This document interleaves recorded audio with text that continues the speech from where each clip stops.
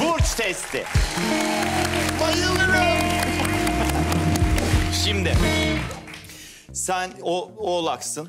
Ne Evet. kadar oğlaksın ona bakacağız. Hanımefendi de oğlakmış. Bakalım hanginiz daha oğlaksınız? Soruyorum. Bir gün evlenecek olsam. A. Davul zurna filan benlik değil. Aile arasında bir kokteyl yaparım. B. Kokteyle de gerek yok. iki şahit yeter. C.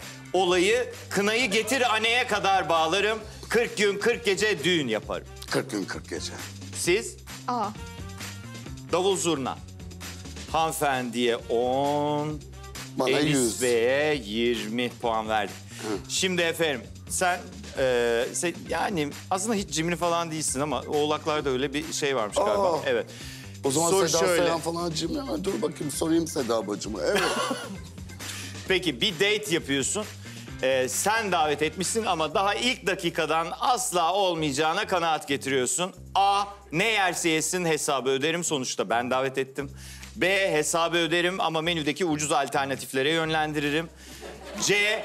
Alman usulü yaptırırım. Sonuçta neden dönüşü olmayan bir, bir parayı harcayayım. yani zıkkımın kökünü yesin derim ama gene de hesabın tamamını öderim. Evet sen öyle yapar. Siz de mi? İkiniz de sıfır puan aldınız.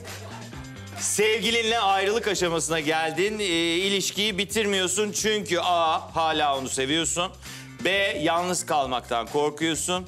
C. ilişkiye çok para harcadın. Kendini amorti etmeden ayrılmazsın.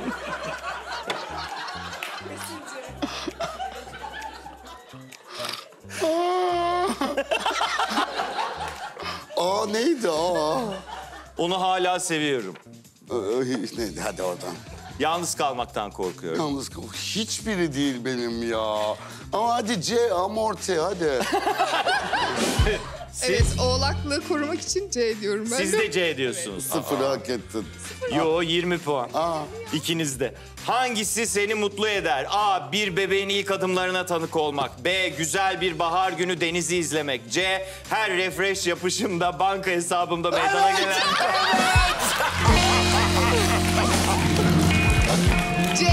Siz de gayet iyi. Sen Enis'cim e, yüzde e, 30 e, oğlaksın. Hanımefendi siz de yüzde 50 oğlaksınız. Bu teste göre hayırlı uğurlu olsun. Allah. Alkışlıyoruz hanımefendiyi. Daha fazla video izlemek için kanalımıza abone olabilir. İlk izleyen olmak isterseniz bildirimleri açabilirsiniz.